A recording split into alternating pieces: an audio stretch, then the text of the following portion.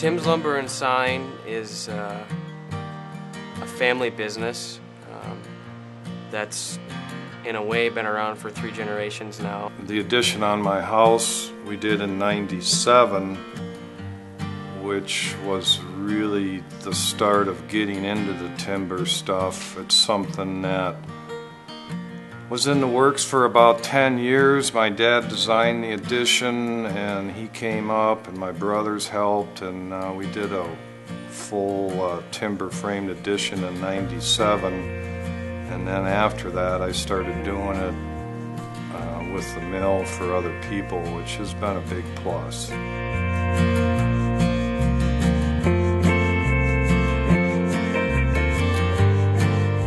There are occasions where he'll have me work on something on my own, or he'll uh, cut a bracket out and then he'll have me sand it, or um, some sort of part of the process on my own. But most of the time, the two of us, you know, we work together because um, almost all of the, the big equipment around here, it really requires two guys to run it efficiently.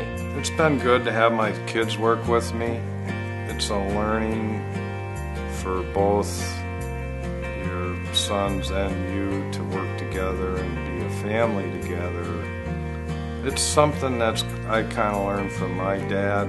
We used to have some of our best times working together on projects.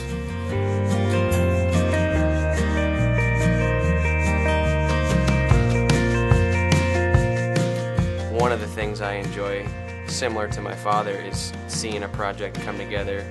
Um, because of the uniqueness of our business, you get to see, you can see anything come from a rough log, you know, which is circular, and, and by the time you're done, it might be an archway or a mantle, um, any number of things. And so that means that we saw the material, we plane the material, you know, we sand the material, um, we shape it into what it's going to be, you know, and you get to see a piece go from essentially what most people would consider firewood um, to something that may be the centerpiece of a home. But you're always striving for accuracy. You know, measure 27 times and cut once.